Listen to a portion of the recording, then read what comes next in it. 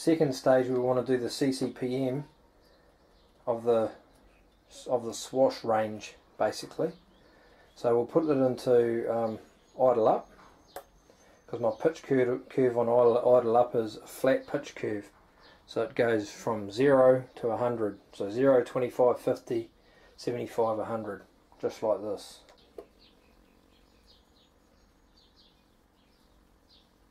Okay, so we've got um,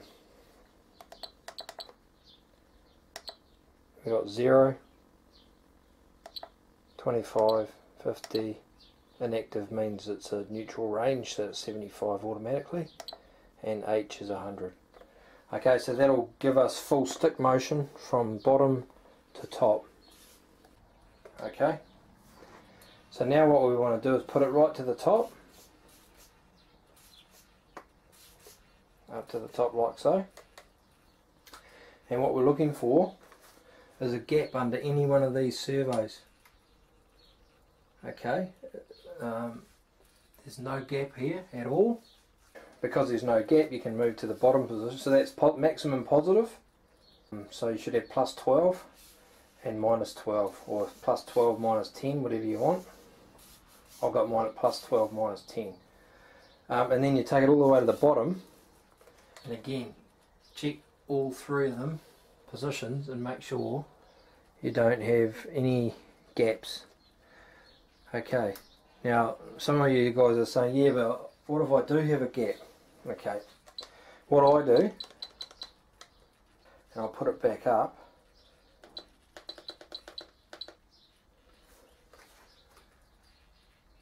at low stick,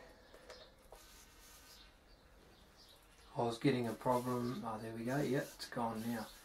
Um, if you have a look in here, I don't know if you can see it, but um, on, we'll just get in there so I can show you.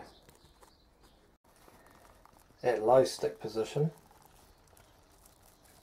you can see there's a gap there under that, under this here. Okay, it's touching in all the other ones. It's touching there in the front one, but this one here has a gap. It's just a small gap but it's a gap all the same. Um, this will give you a stable heli if you set it up correctly so it pays to be patient with it.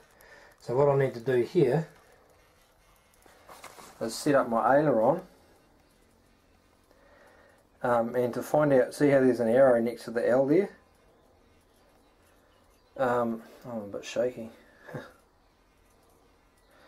Um, basically to find out which one's controlling what see how it's changed to R? I've just pulled that the stick right to the top and it's gone to R which is the top position. This is in the um, travel adjust section.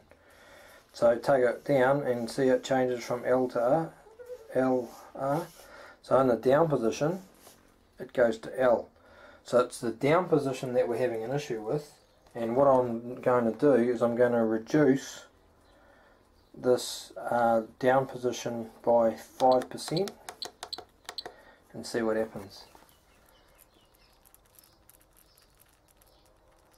Okay, the gap's gone. And check the other ones because you don't want it starting to pick up on the other one. You know what I mean? Like lift it off, off the other pedestal. Okay, so that's all three of them. Perfect. So that's the same. So at the top, do exactly the same thing. Have a look at all three of them. And they're all perfect. Okay, so that's basically setting your CCPM. So now when you move the uh, right through the range from top to bottom, you've got no gap coming up. Right? So that's your CCPM. Um, now what you need to do is um, set your uh, oh I should have done this in the first place so that so that you could see this setup in the swash mix section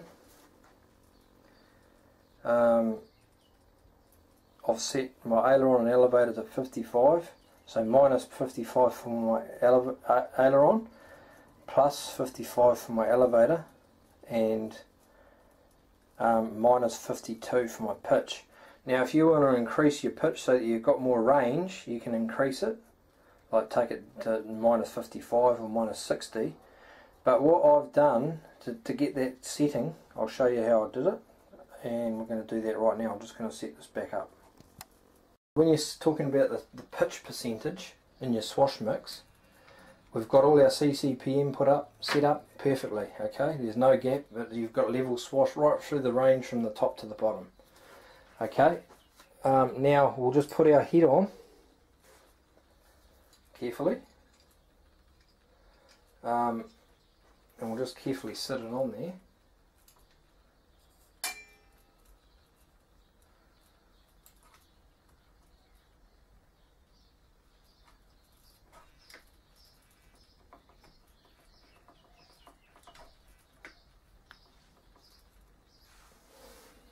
we'll just put our bolt through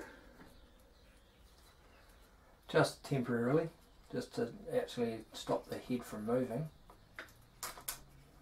and we'll put our four ball joints on. Head sitting on there just with the bolt through. We haven't got the nut on for now. Um, obviously you need to make sure you put all that stuff on correctly when you've finished it and just check your tightness and ball joints and everything like that. So I've got my four ball, ball joints back on now. Um, and what we're going to do is we're going to put the the helicopter through its complete range of movement. So leave it in idle one, idle up one, and move right through to the top. Now, if you have a look here, I'll just zoom in so you can see. When I move it up, yeah, if you see the, the, the gap in here,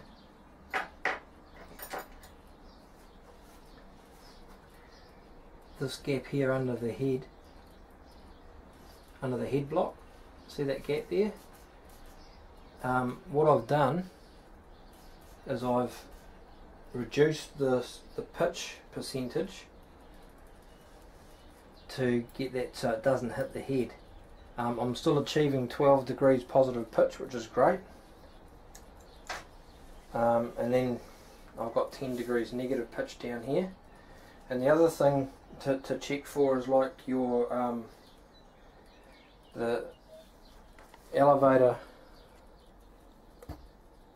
and uh, aileron settings I've got for 55. What that controls is how much rollout this the um, the swash has.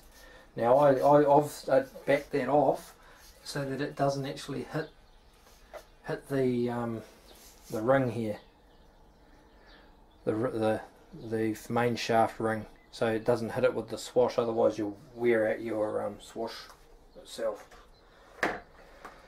Okay, so that pretty much gives you the basics. Um, once you've got that well, obviously once you've got that set up, so you've got the CCPM, you want to set your zero pitch.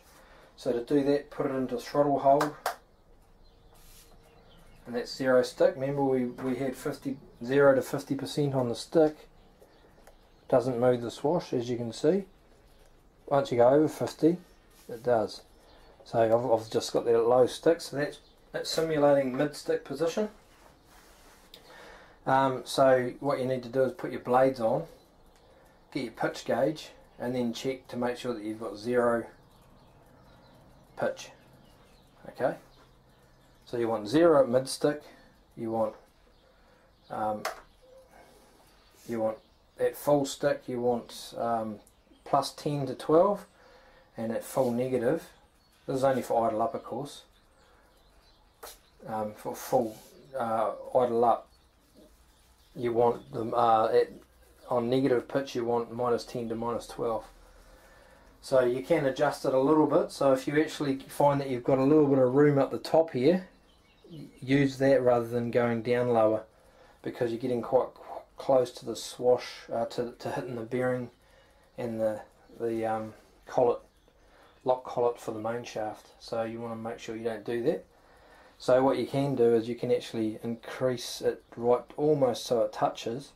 to get your 12 mil. If you're only getting 10 mil at the bottom, what you can do is go back to mid stick, adjust your um, pitch because you've increased the height here. You adjust your uh, zero, uh, put it back to zero at mid stick, and that will balance out. You'll have plus 11 and minus 11. So I hope that makes sense. Um, if it doesn't, I'm sure you'll put some questions down in here for us. Okay? Cheers, thanks for watching, and uh, I'm going to go and fly my heli. Thanks.